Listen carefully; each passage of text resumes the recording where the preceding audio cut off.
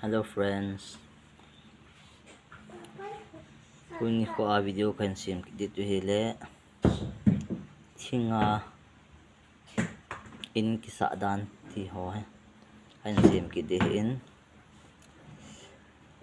Our friends so like subscribe able to at nga ki pa thu kan sin.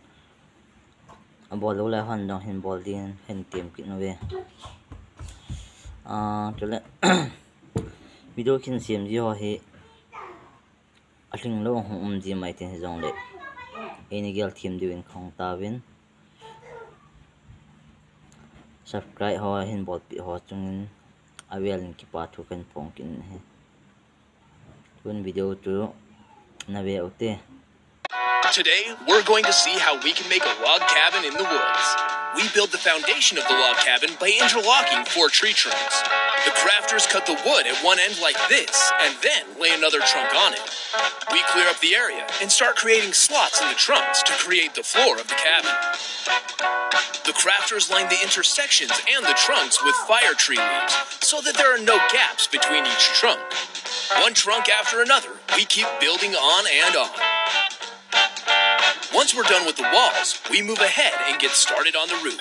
First, we cover the top with wood planks and lay trunks as beams. Let's keep the wood coming, y'all. The crafters then nail two thin wooden planks like this, parallel to each other, and then get the motors running on this wood chopper. We use it to remove the logs on the inside of the frame. There's more adventure written all over this DIY. Can't wait to see it complete.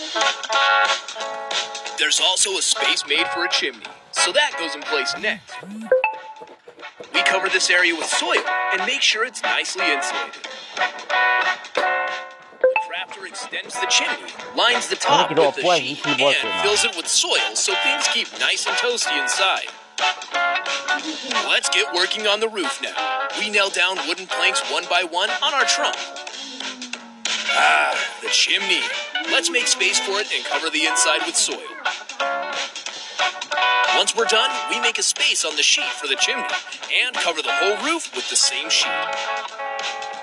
The crafter covers the roof with plastic next, because no one likes a soggy cabin. Then we create a few benches with more wood so that our guests have a nice place to sit. All the gadgets go in place.